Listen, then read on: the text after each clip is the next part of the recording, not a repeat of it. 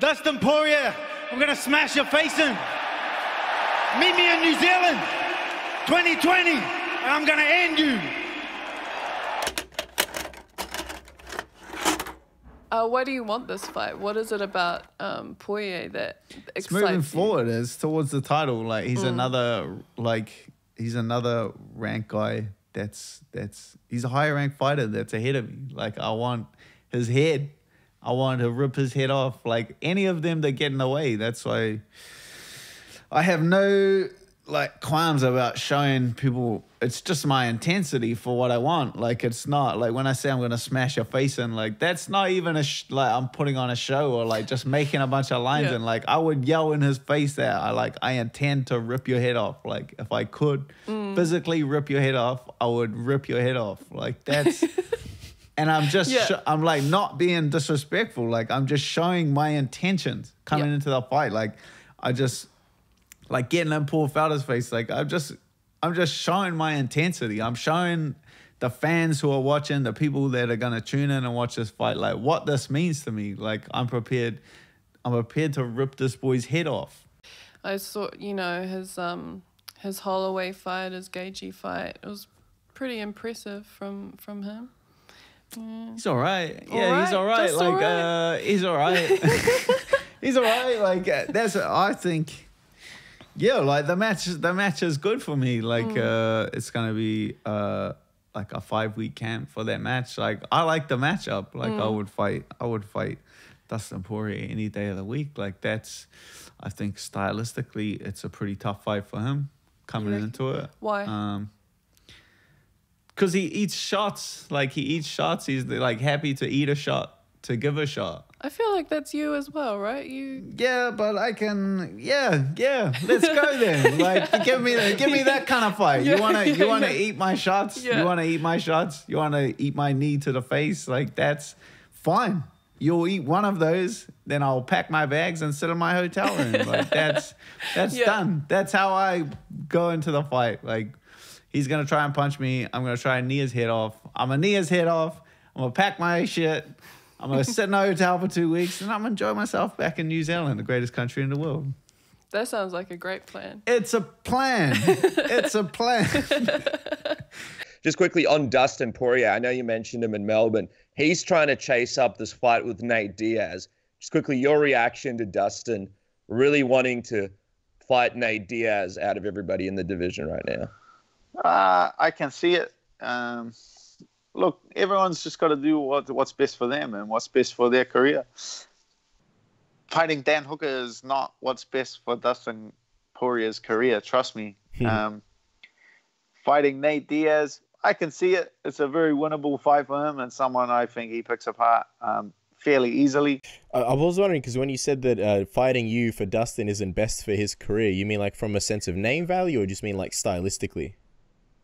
I think both. I think both. I think I'm a difficult fight for him. I think it's a it's a dangerous matchup. Um, I think he needs to get back in the win column, and I don't feel like I'm the right guy for that.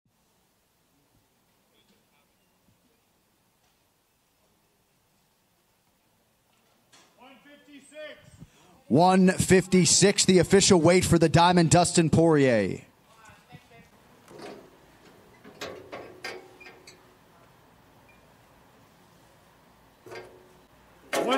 One fifty-five and a half. 155 and a half, the official weight for Dan Hooker. And finally, the last two men who will make the walk at UFC Fight Night. Your lightweight main event Dustin Poirier versus Dan Hooker.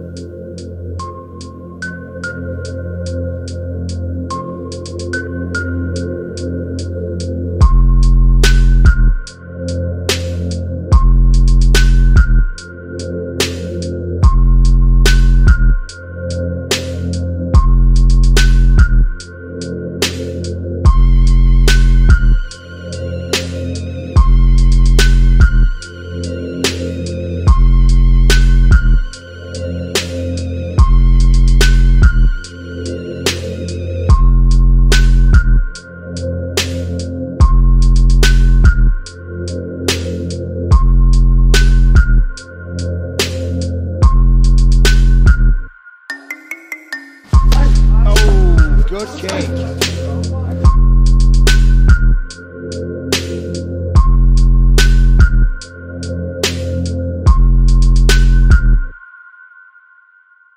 Breaks the grip, gets the tight cling. Nice elbow. Drops an elbow, but Hook it comes with the out.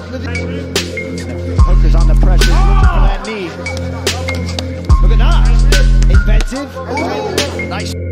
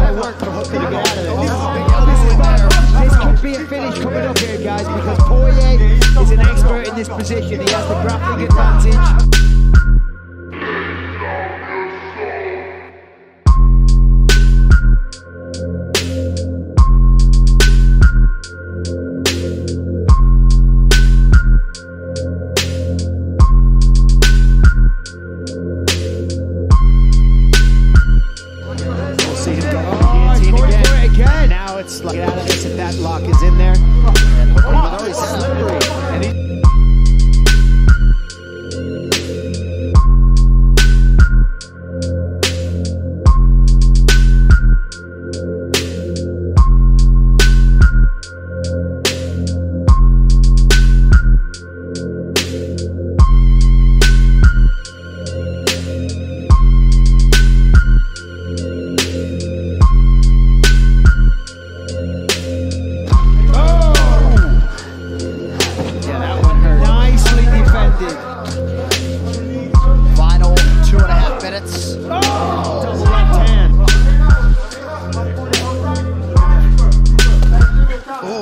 good connection by Poirier. Hooker in on a takedown.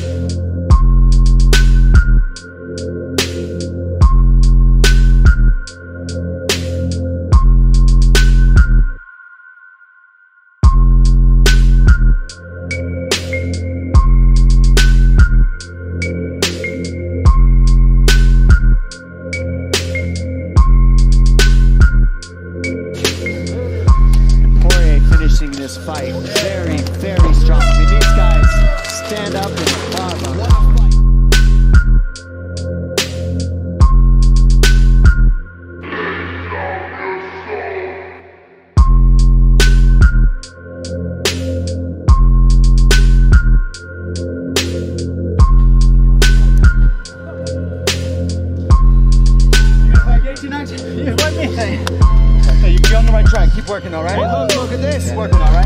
We're ready for a round six. For the winner by unanimous decision, Dustin the Diamond Poirier. Your thoughts on the 25 minutes that just expired in that octagon, man? It was uh it was a tough one, man. You know, Dan came to fight. He's a tough guy. He's on the rise. He really thought that he was going to get past me. He talked a lot of trash, like he was going to move forward and fight the, the champ. But I'm the champ, man. This is what I do. I love this. I put all the work in, and uh, I trusted in my team and my skill and my work ethic, and came here, pulled another one out, and I had a few more rounds left in me.